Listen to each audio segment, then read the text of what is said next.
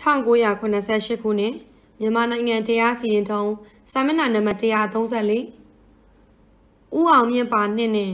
ဒေါ်ဦးခင်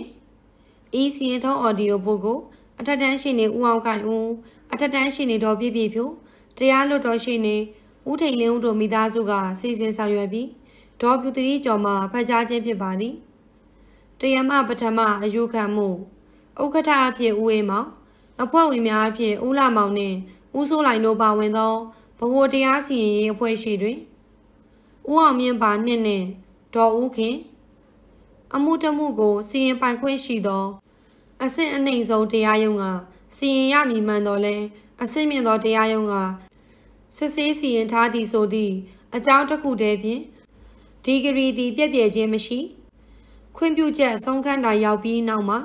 ဆက်လက်နေထိုင်ခြင်းသည်ကျူးကျော်နေထိုင်မှုဖြစ်ခြင်း ဆုံးဖြတ်ချက်အမှုတမှုကိုစီရင်ပိုင်ခွင့်ရှိသော အဆင့်အနှိမ်ဆုံးတရားရုံးကစီရင်ရမည်ဟုတရားမကျင့်ထုံးဥပဒေပုံမှာ15ကပြဋ္ဌာန်းထားသည်မှာမှန်တော်လဲစစ်ဆေးစီရင်ပိုင်ခွင့်ရှိသောတရားရုံးထက်အဆင့်မြင့်သောတရားရုံးဟာစစ်ဆေးစီရင်ထားလျင်ရင်းတရားရုံး၏ဆောင်ရွက်ချက်မှာမှားယွင်းသည်ဟုမဆိုနိုင်ပေအဆင့်မြင့်သောတရားရုံးကလည်းစီရင်ပိုင်ခွင့်ရှိနေ၍စီရင်ပိုင်ခွင့်အတွင်းမကြရဟုကောက်ယူရန်မသင့်ချေ အစိမ့်မြင့်သောတရားရုံးကစစ်ဆေးစီရင်ထားသည်ဆိုသည့်အကြောင်းတစ်ခုတည်းဖြင့်ဒီဂရီသည်ပြည့်ပြည့်ချင်းမရှိကြောင်းကိုတရားမကျင့်ထုံးဥပဒေပုံမှန်69ကလည်းရှင်းလင်းပြဋ္ဌာန်းထားပေသည်ထပ်မံဆုံးဖြတ်ချက်ဦးအောင်မြင့်နှင့်ဒေါ်တင်အောင်တို့သည်ပိုင်ရှင်မဟုတ်သူကိုအစ်စမိုင်အင်ဤခွင့်ပြုချက်ဖြင့်နေထိုင်သူများဖြစ်၍ကိုအစ်စမိုင်အင်ထွက်ခွာသွားသည်နှင့်တပြိုင်နက်ကိုအစ်စမိုင်အင်ဤခွင့်ပြုချက်မှာလည်း ဆုံးခန်းတိုင်ရောက်ရှိသွားမည်သာဖြစ်ပေသည်ခွင့်ပြုချက်ဆုံးခန်းတိုင်ရောက်ပြီးနောက်မှာဆက်လက်နေထိုင်ခြင်းသည်ကျူးကျော်နေထိုင်ခြင်းပင်ဖြစ်သည်အယုခံတရလူများအတွက်ဥကိုမြင့်ဘိုးတရားရုံးရှိနေအယုခံတရပြရန်အတွက်ဦးတန်းတင်နှင့်ဘိုးတရားရုံးရှိနေရန်ကုန်တိုင်းတရားရုံးတရားမာကြီးမှုအမှတ်တင်မြင့်ဆောင်85တွင်အယုခံတရပြိုင်တော်ဦးခင်ကအယုခံတရလိုဦးအောင်မြင့်နှင့်ဒေါ်တင်အောင်တို့အပေါ် ကျူးကျော်ဆောက်လုပ်နေထိုင်လျက်ရှိသောရန်ကုန်တိုင်းမင်္ဂလာတောင်ညွန့်မြို့နယ်ကန်တော်ကလေးရက်125လမ်းအိမ်အမှတ်58ဤဘေးရှိအဖီကိုဖျက်သိမ်းဖယ်ရှားပြီးအဖီမြေနေရာကိုဒေါ်ဦးခင်အားလက်ရောက်ပေးရကမြေပေါ်မှထွက်ခွာသွားစေလိုကြောင်းဖြင့်တရားစွဲဆိုခဲ့သည်တိုင်းတရားရုံးကတရားပြိုင်တော်ဦးခင်ဆွဲဆိုသည့်အတိုင်းဒီဂရီချမှတ်ပေးခဲ့သည်အယုခံတရားလိုများကမကျေနပ်ကြသဖြင့် ဗဟိုတရားရုံးသို့အယုခံဝင်ရောက်ခြင်းဖြစ်သည်အယုခံတရားပြိုင်တော်ဦးခင်သည်ရန်ကုန်တိုင်းမင်္ဂလာတောင်ညွန့်မြို့နယ်ကံတော်ကလေးရက်125လမ်းအိမ်အမှတ်58နှင့်မြေခွက်တို့ကိုဦးထွန်းတင်ဆိုသူထံမှ17ရက်4လ83နေ့စွဲပါမပုံတင်စာချုပ်အမှန်939မြင်းဆောင်83ပြုလုပ်၍ဝယ်ယူပိုင်ဆိုင်ခဲ့သည်အယူခံတရလိုဦးအောင်မြင့်နှင့်ဒေါ်တရောင်တို့သည် ဦးခင်ဤခွင့်ပြုချက်တစုံတရာရယူခြင်းမရှိဘဲကျူးကျော်၍အိမ်အမှတ်58ဤဘေးတွင် အဖီဆောက်လုံနေထိုင်လာသဖြင့်ဒေါ်ဦးခင်က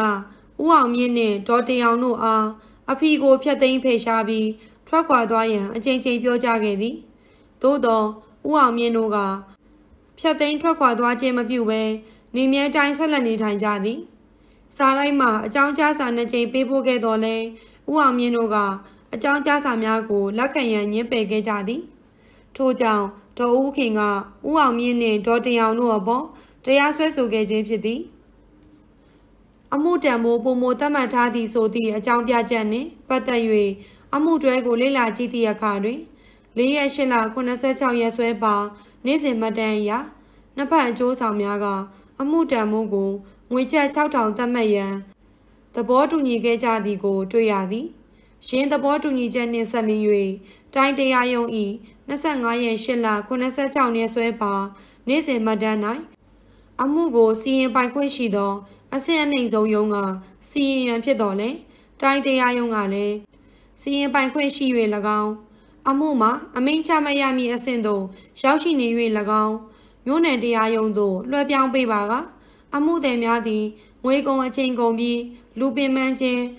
တရားရုံးအတွက်လည်းအချိန်ကုန်အလုပ်ပုံမီဖြစ်ခြင်းတို့ကြောင့်၎င်းတိုင်းတရားရုံးကပင်ဆက်လက်ဆောင်ရွက်ရန်အမိန့်ချမှတ်မည်ဟုအမိန့်ချမှတ်ခဲ့သည်ကိုလည်းတွေ့ရသည်အမှုတမှုကိုစီရင်ပိုင်ခွင့်ရှိသောအဆင့်အနှိမ့်ဆုံးတရားရုံးကစီရင်ရမည်ဟုတရားမကျင့်တော်ဥပဒေပုံမှာ15ကပြဋ္ဌာန်းထားသည်မှာမှန်တော်လဲစစ်ဆေးစီရင်ပိုင်ခွင့်ရှိသောတရားရုံးထံအဆင့်မြင့်သောတရားရုံးကစစ်ဆေးစီရင်ထားလျင်ရင်းတရားရုံးဤဆောင်ရွက်ချက်မှာ မှားယွင်းသည်ဟုမဆိုနိုင်ပေအဆင့်မြင့်သောတရားရုံးကလည်းစီရင်ပိုင်ခွင့်ရှိနေ၍စီရင်ပိုင်ခွင့်အတွင်းမကြရဟုကောက်ယူရန်မသိချေအဆင့်မြင့်သောတရားရုံးကစစ်ဆေးစီရင်ထားသည်ဆိုသည့်အကြောင်းတစ်ခုတည်းဖြင့်ဒီဂရီသည်ပြည့်ပြည့်ချင်းမရှိကြောင်းတရားမကျင့်တော်ဥပဒေပုံမှာ69ကလည်းရှင်းလင်းပြဋ္ဌာန်းထားပေသည်အယူခံတရလူများကမိမိတို့သည် အချင်းဖြင့်အဖီတွင် 19နှစ်ကျော်များအနှောက်အယှက်ကင်းမဲ့စွာ နေထိုင်ခဲ့သည့်အတွက်တရားစွဲဆိုရန်ကာလစည်းကမ်းသက်ကျော်လွန်ပြီးဆိုသည့်အချက်နှင့်ဆက်လင်း၍ကာလစည်းကမ်းသက်အဥပဒေနောက်ဆက်တွဲဇယားတင်အပိုက်144အရာအမှုကို12နှစ်အတွင်းဆွဲဆိုရမည်မှာမှန်တော်လဲ12နှစ်ကာလကို တွက်ချက်သည့်အခါတရားပြ၏လက်ရှိနေထိုင်ခြင်းသည်တရားလို၏ပိုင်ဆိုင်မှုနှင့်စန့်ကျင်လာသည့်အချိန်မှစတင်၍ရေတွက်ရမည်ဖြစ်သည် စန့်ကျင်ဘက်ပိုင်ဆိုင်ခွင့်ဆိုသည်မှာတာမန်လက်ရှိနှင့်မတူပေပိုင်ရှင်အစစ်အမှန်မဟုတ်စေကမူပိုင်ရှင်ကဲ့သို့ထင်ထင်ရှားရှားပေါ်ပေါ်လွင်လွင်၁၂နှစ်တစ်ဆက်တည်းနေထိုင်အသုံးပြုသူဖြစ်ရပေမည်ထို့အပြင်အိမ်ဖြစ်စေမြေဖြစ်စေတာမန်လက်ရှိထားအသုံးပြုခြင်းမျိုးကိုစီကံတက်ကာလအဥပဒေပထမဇယားတင်အပိုက်144ကဆိုလိုခြင်းမဟုတ်ဘဲပိုင်ရှင်အစစ်အားဆန့်ကျင်ရန်လက်ရှိထားခြင်းကိုသာဆိုလိုပေသည် အယူခံတရပြိုင်တော်ဦးခင်သည်အချင်းဖြစ်အိမ်နှင့်မြေကွက်ကို17ရက်4လ83ရက်နေ့ကမှတ်ပုံတင်စာချုပ်ဖြင့်ဝယ်ယူခဲ့သည်ထို့အပြင်တော်ဦးခင်သည် အဖီနှင့်အဖီမြေကွက်ကိုလက်ရောက်မရခဲ့ပေအယူခံတရလိုဦးအောင်မြင့်နှင့်ဒေါ်တင်အောင်တို့ကသာအဖီနှင့်အဖီမြေကွက်ကို12နှစ်ကျော်နေထိုင်လာခဲ့ခြင်းဖြစ်သည်တနည်းဆိုသောဦးအောင်မြင့်နှင့်ဒေါ်တင်အောင်တို့သည်17ရက်4လ83ရက်နေ့မှစ၍ ဒေါ်ဦးခင်ကိုစန့်ကျင်၍လက်ရှိထားခဲ့ခြင်းဖြစ်သည်ထို့ကြောင့်ကာလစည်းကမ်းသက်ကို17ရက်4လ83ရက်နေ့ကစတင်တွဲချက်ရမည်ဖြစ်၍အမှုမှာကာလစည်းကမ်းသက်ကျော်လွန်ခြင်းမရှိသေးသည်မှာပေါ်လွင်ထင်ရှားနေပေသည်အယူခံတရလိုဦးအောင်မြင့်နှင့်ဒေါ်တင်အောင်တို့က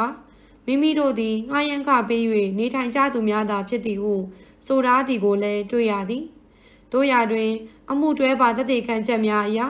ဦးအောင်မြင့်နှင့်ဒေါ်တင်အောင်တို့သည်ပိုင်ရှင်အသီးသီးသို့ငှားရမ်းခပေးနေခဲ့ကြောင်းအထောက်အထားတစုံတရာမရှိပေမူလပိုင်ရှင်တဦးတယောက်ကိုမျှဦးအောင်မြင့်တို့ကသက်သေပြခဲ့ခြင်းမရှိပေဒေါ်ဦးခင်ဘက်ကသက်သေအဖြစ်တင်ပြခဲ့သောမူလပိုင်ရှင်တဦးဖြစ်သူဦးထွန်းတင်ကလည်းနေထိုင်ရန်ခွင့်ပြုခဲ့ခြင်းမရှိငှားရမ်းကယူခဲ့ခြင်းလည်းမရှိဟုထွက်ဆိုထားသည်ကိုတွေ့ရသည်အယူခံတရပြိုင်ဒေါ်ဦးခင်တင်ပြခဲ့သော တက်တေခံကားငယ်စာချုပ်အရဆိုလျင်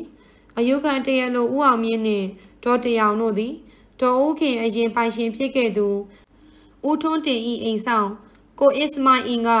ခိတ္တနေခွင့်ပြုခဲ့သူများဖြစ်ကြောင်းတွေ့ရသည်အိမ်ပိုင်ရှင်ဟောင်းဦးထွန်းတင်ကအချင်းဖြစ်အိမ်ကိုဒေါ်ဦးခင်အားရောင်းသည့်အခါတွင်ကိုအစ္စမိုင်အင်တို့အိမ်ပေါ်မှဆင်းသွားပြီးနောက်အချင်းဖြစ်အိမ်၌ဆက်လက်နေထိုင်ခဲ့သည်မှာ ဒေါ်တင်အောင်ကဟုတ်မှန်ကြောင်းဝန်ခံထားသည်ဖြစ်၍ဦးအောင်မြင့်နှင့်ဒေါ်တင်အောင်တို့သည်ပိုင်ရှင်မဟုတ်သူကိုအစ္စမိုင်အင်၏ခွင့်ပြုချက်ဖြင့်နေထိုင်ကြခြင်းသာဖြစ်ကြောင်းပေါ်လွင်သည်ဟုဆိုရပေမည်။ဦးအောင်မြင့်နှင့်ဒေါ်တင်အောင်တို့သည်ပိုင်ရှင်မဟုတ်သူကိုအစ္စမိုင်အင်၏ခွင့်ပြုချက်ဖြင့်နေထိုင်သူများဖြစ်၍ကိုအစ္စမိုင်အင်ထွက်ခွာသွားသည်နှင့်တပြိုင်နက်ကိုအစ္စမိုင်အင်၏ခွင့်ပြုချက်မှာလည်းဆုံးခန်းတိုင်ရောက်ရှိသွားမိသာဖြစ်ပေသည်။ ခွင့်ပြုချက်ဆုံးခန်းတိုင်ရောက်ပြီးနောက်မှာဆက်လက်နေထိုင်ခြင်းသည်ကျူးကျော်နေထိုင်ခြင်းပင်ဖြစ်သည်။ထို့ကြောင့်တိုင်းတရားရုံး၏စီရင်ချက်နှင့်ဒီဂရီမှာဥပဒေအရ၎င်းအကြောင်းချင်းရာရ၎င်းမှားယွင်းချွတ်ချော်ခြင်းမရှိသဖြင့်ဝင်ရောက်ဆွတ်ဖက်ရန်အကြောင်းမရှိပေသို့ဖြစ်၍ရန်ကုန်တိုင်းတရားရုံး၏9ရက်9လ89ရက်စွဲပါစီရင်ချက်နှင့်ဒီဂရီတို့ကိုအတည်ပြု၍အယူခံမှုကိုစရိတ်နှင့်တကွပါလက်လိုက်ကြောင်းအမိန့်ချမှတ်သည် ရှိနေစရိတ်ငွေကျပ်90သတ်မှတ်သည်